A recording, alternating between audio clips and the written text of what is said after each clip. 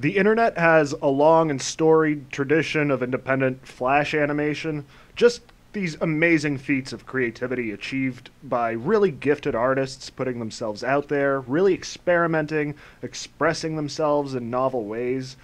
There was uh, Salad Fingers, there was Orphan House, there was uh, the Chip Chipperson Show.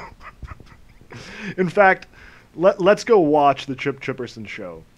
It, it should be really good. It had a budget of $61,000 raised on Indiegogo. It was written by comedian and New York Times bestselling author Jim Norton. It was made in 2016, so uh, there's a lot more kind of tradition and history behind it. So it was probably very refined and very well done. All right, here we go. Hmm. Well, that's that's weird. It says media is unavailable. Let's look around. Jim Norton presents the life and times of the unfunniest man on the planet, the Chip Chipperson Show. This is actually true, except the unfunniest man on the planet in this situation, it's not Chip, it's Jim and his dog shit writing. Let's see the about section. For years I've been doing revolting characters on the radio. People have asked me so many times to animate them, and it's something I've always wanted to do. I am finally here instead of pitching to networks and trying to explain the appeal of these characters, which I don't even understand because they're so unappealing. I figured I'd try to get funding so I can do the animations exactly as I want to do them, with no interference. Explaining why these characters are entertaining would be impossible. Well, that's. You sure said a mouthful there, Jim. If something's impossible, there's usually a good reason for that. Consider for a second that the reason you can't explain why they're entertaining is because they probably aren't that entertaining. This campaign is to fund five more episodes of the Chip Chipperson Show, like what you just watched. They include all these jerks and some other people, maybe even you. Well, the video doesn't work, but there are some character descriptions down here. Let's see what we've got.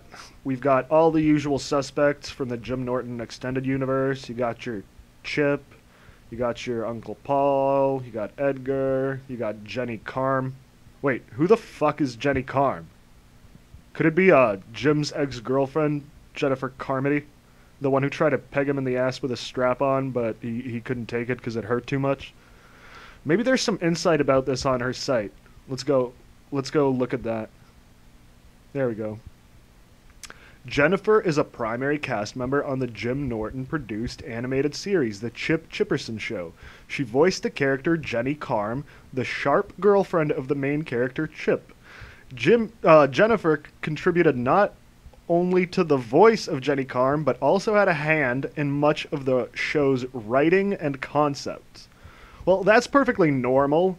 Writing your real life ex girlfriend into your fiction show and then letting her write and produce it. This sounds perfectly professional and lends itself to a non self indulgent creative process.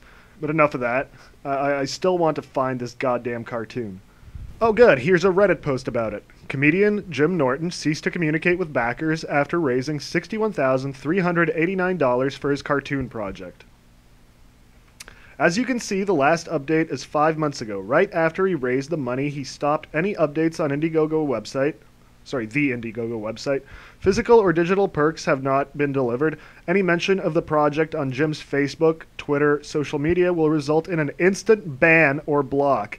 Here is one example of him replying to a backer with passive aggressiveness without giving any concrete information while his fans attack, insult, bully the backer. When confronted by a caller on his radio show, he slipped up and said he will be stuck with 41,000 after he delivers all his perks. It's also worth noting that Jim Norton has openly discussed on the radio that he has money problems after remodeling his apartment in the last few months. Listeners of the Opie radio show on XM radio can confirm this. That's right. He was blocking people who asked about the perks. The people who gave him money are being blocked and bullied for asking where their money went. You want to know about your contribution to my Indiegogo? You can Indiegogo fuck yourself. Maybe Jim could defend himself. Let, let, let maybe. Let's see what he had to say on uh, Facebook. For anyone wondering about the Chip Chipperson animation, the shirts, bumper stickers, and posters are in the process of being made. every perk will be delivered. I'm fine with people disliking the animation, but to think I would steal from fans is simply ludicrous. The projected cost of the perks, depending on postage, will be around $13,000. I've explained the delay with the perks on air, and I'm simply too lazy to write them out. I have about five other scripts that were already written that I could have animated immediately, but I chose to really hear the criticism instead of ignoring it. Meaning, I didn't want to plow ahead like a fucking dope and put out something that a lot of people had already expressed they didn't like. What I want is to somehow combine the live, uncomfortable interactions of Chip in an animated world. I wanted to represent the character the way people see him. It's a harder process than I would have thought and I can't animate bits that were on the show. I don't own that audio, and I want to create something new anyway. I kept coming up with ideas that felt incomplete or simply wrong. I finally think I know what I'm going to do with it. Now I have to figure out exactly how to do it. It will be mostly unscripted. I'm sorry people feel frustrated by the delay, but the delay is simply a reflection of me rethinking and reconceptualizing the animation. I want to get it right. I've not given up on it or lost interest in any way. I certainly haven't spent one dollar of the money from the campaign. It will all be put into the project. So now, two years later, it seems he has rethought and reconceptualized the animation into, well, nothing. In fact, searching for it now, it seems almost every trace of it having ever existed has been wiped off the internet. It's like it got devoured by some kind of giant blinky turtle whether or not Norton ever delivered on the promised t shirts and bumper stickers, I don't know. I can't speak to that. I didn't give him money. As for the five episodes of the Chip Chipperson show, only two episodes of the show were ever released. Technically, one. The first one was a teaser created before the Indiegogo, and that one is completely gone. I can't find it. If you have it, please, please send it to me so I can once again laugh at what the idiot donor saw and decided that looks like a good investment, derp. But the second one was produced with the money, and uh, I've got it. It stars Jim Norton and Amy Schumer. It's got guest stars uh, Club Soda Kenny and Gilbert Gottfried.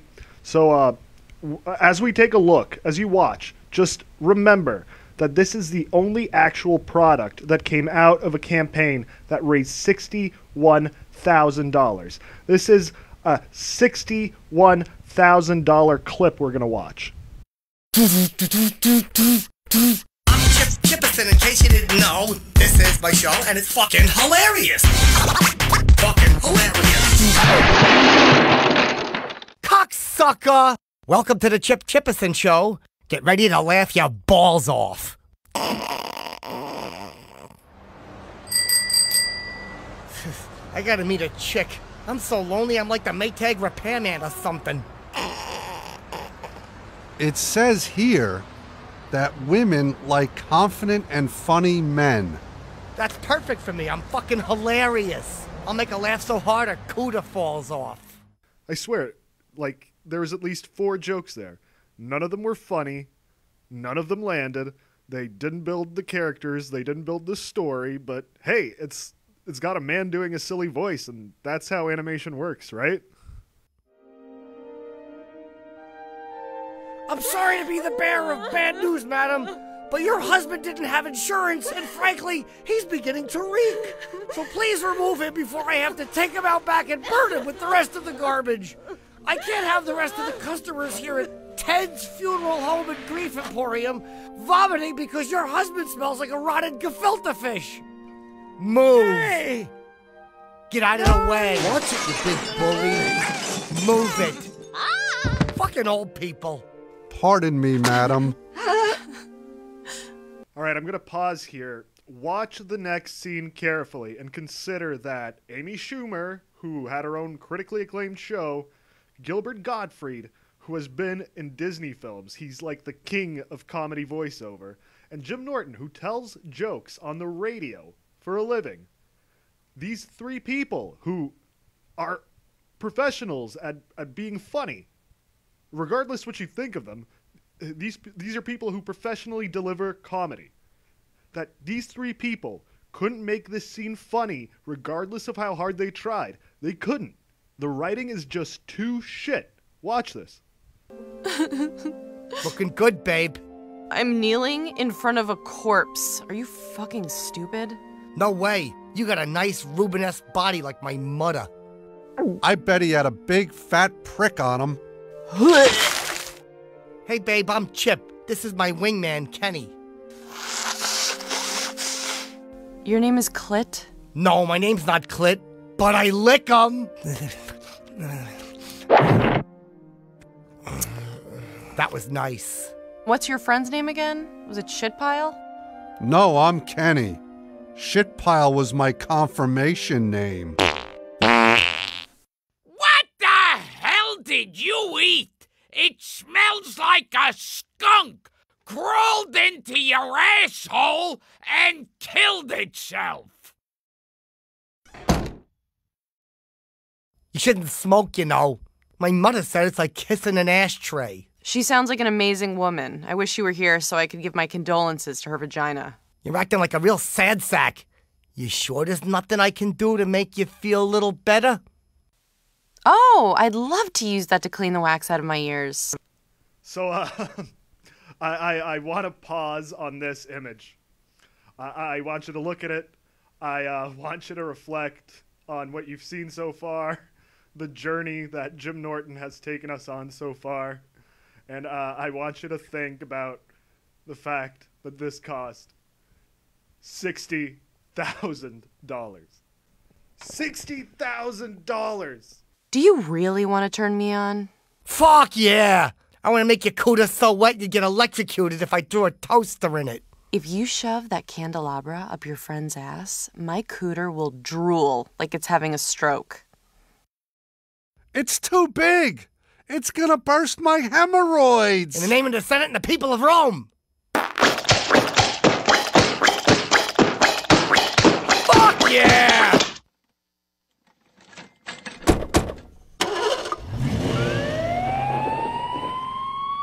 Ugh. I'm so embarrassed for everybody involved with this. How, how did Amy not pull Jim aside and tell him that this is absolute dog shit?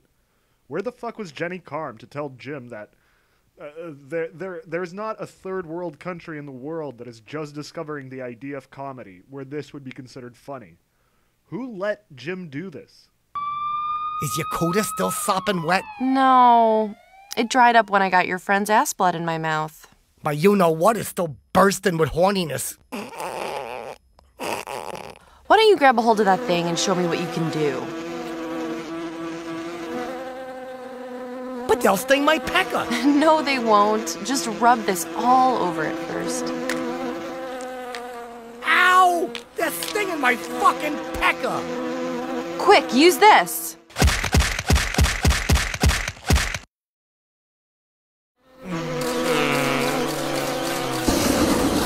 Ow! What the fuck? You got my pecker hot, baby. Fuck yeah. By the way, how did your husband die? Oh, that guy? He wasn't my husband. He was just some ugly, stupid piece of shit who hit on me, so I killed him. Fuck yeah! Wait, did Chip write the show? Is this some kind of 3D wheelchair chess boxing? W- was the meta joke that this is so badly r- written that it's fucking Chip Chipperson who's the head writer? Think about it. The big payoff at the end of the episode, the, uh, the twist ending, is that the woman that Chip is trying to fuck that tries to kill him is a woman that kills people who try to fuck her. Like, what kind of. What the fuck?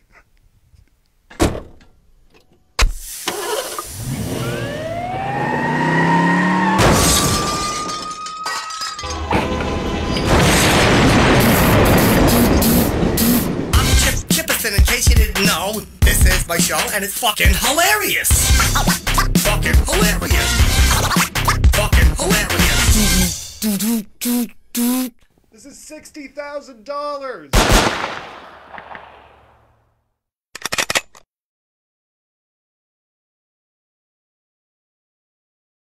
So here's what I think happened. Jim Norton was sitting in his unrenovated apartment, edging to T girls on a webcam, thinking about how much he misses his ex, and only if she had to work with him and be in his proximity and talk to him, she'd fall right back in love with him and maybe give him a pity fuck. He was unhappy with his job at XM at this point. The Opie and Jim Norton show was falling apart, and he wanted to do a quick cash grab, something easy he could do to solve all these problems. And an idea hit him that the idiot fans would pay money to see him do his retarded character. He was going to renovate his apartment, he was going to get the girl, he was going to explore a whole new creative side of himself. Uh, and the problem started when he didn't hit a third of his target. His target was $200,000. And uh, if you look down here on Indiegogo, 60% goes to voices, writing, and animation. He had probably already promised a certain amount of money to uh, Jenny Carm, to Gilbert Gottfried, to Amy Schumer. Like, Gilbert Gottfried is not going to do anything for free. Like, he, he's a psychopath with that shit. And then there's a much bigger problem that came up, and that other problem is that Jimmy is a terrible writer. He can't write a story to save his life. Look at the famous Uncle uh, Uncle Mingle sketch from his abortive Vice show. You have a setup, a silly situation. Look, it's a dating service for pedophiles, and then the cops come and bust it up. That's it. It's a premise he thinks is witty and a disconnected resolution. Uh, th- there's no story. It's just stuff. It's it's just stuff happening, and you can see this happening in the Chip Chipperson cartoon throughout. There aren't any setups and punchlines. I, I mean, there are, but they're shitty. But for the most part, what you're seeing is just events. It's an event after an event after an event after an event, and there's no sense of drama. There's no sense of comedy. There's no coherence. It's events. Knowing he couldn't possibly save his worthless piece of shit Flash cartoon, Jim decided to go another route. He decided if he did a visual podcast, he could convince longtime fans of the show to animate this goofy shit for free. And so, in an extremely roundabout way, he could deliver on his obligations. I genuinely believe that when Jim started the podcast, it wasn't because he wanted to do it. It was just so he could justify having raised $60,000 to give to Amy Schumer, the contractor who renovated his apartment, and his ex girlfriend. That, that's all the GoFundMe really did. It, it raised money to give to Amy Schumer and, and a contractor and Jenny Carm. Finally, as for the people who donated, I have absolutely no sympathy for you. You you you know that there are artists out there who have a vision their whole lives. They work their fingers to the bone to come up with a beautiful and interesting idea, to, to come up with this material, and they live and breathe their creations. And all they need is a little financial help to get started.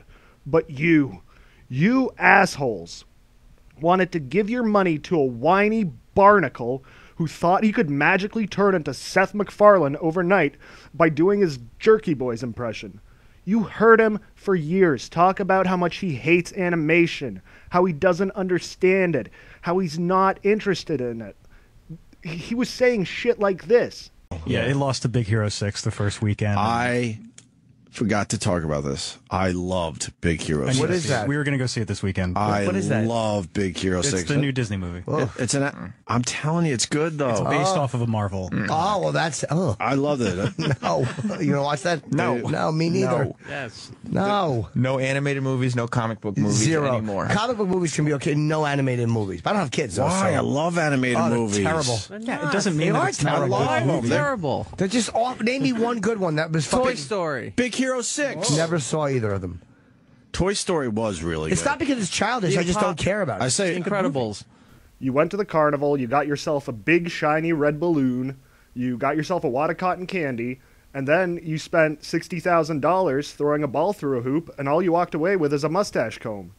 You're not responsible enough to have the money you have. That's why people take it away from you. Jim Norton took your money away from you. That, that's all I got. Fuck you.